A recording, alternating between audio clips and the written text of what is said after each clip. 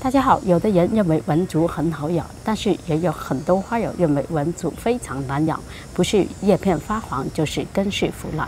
那么今天就跟大家分享，使用四招就能让文竹生长得好，生长得旺。首先第一点，浇水，我们要根据文竹的盆土干湿度来给它浇水。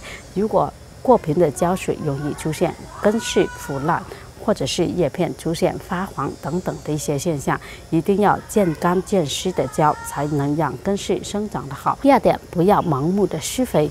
想要文竹生长得好，快速的冒出新芽的话，我们必须要给它追肥。但是呢，追肥的话，必须要薄肥群施。比如我们最常用到的就是竹科营养液，这种营养液是专为竹科植物而制作的。直接灌根或者是喷洒叶面，既能让文竹吸收到养分，也能增强叶片的光合作用，使叶片长得更加翠绿。第三点，土壤，我们使用的土壤不要使用一些粘性太重的，或者是容易板结的，一定要使用这种疏松、透气、滤水性好的，才有利于根系生长得好，不会出现烂根的现象。第四点，光照，文竹是半阴植物，它比较耐阴，我们只要给它散射光照就行了。